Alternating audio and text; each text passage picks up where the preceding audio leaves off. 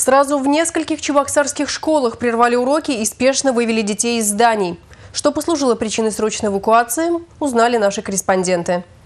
В нашу редакцию поступил звонок от обеспокоенных родителей учеников лицея номер 44. Всех школьников вывели без вещей, верхней одежды и срочно перевели в соседнюю школу. Как удалось выяснить, в 13.20 поступило сообщение о том, что в здании заложена бомба. У нас был урок информатики.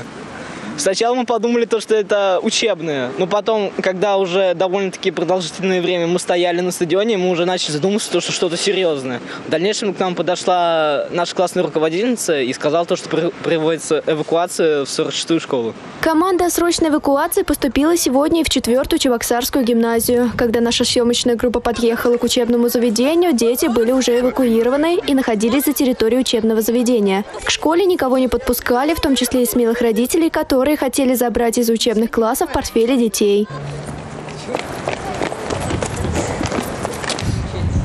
Никаких провокационных и подозрительных звонков в школу не поступало. Команду о срочной эвакуации директор гимназии получил из управления образования во время шестого урока. Эвакуация проходила и во второй гимназии. Несмотря на конец учебного дня, учеников в школе было много, но всех удалось оперативно вывести. Как сообщается в пресс-службе МВД, тревога оказалась ложной.